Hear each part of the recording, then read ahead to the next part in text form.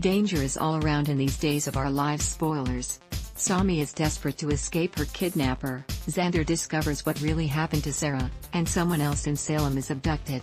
No one is safe. When Sami disappeared, it's assumed she had just run away with her tail between her legs after he exposed her affair with Lucas. But in reality, she was abducted, and finally managed to get a call out for help.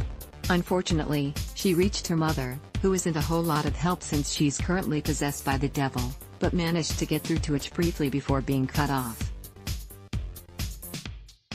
I am in trouble, Sami frets as she paces around her prison.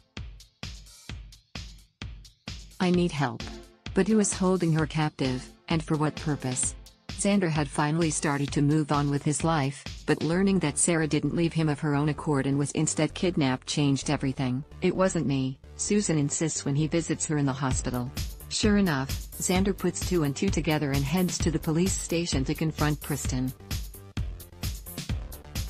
It was you, he seethes. But will she admit what she did to Sarah? And could there be any way to bring her home? Plus, someone else gets knocked over the head and dragged away through the snow.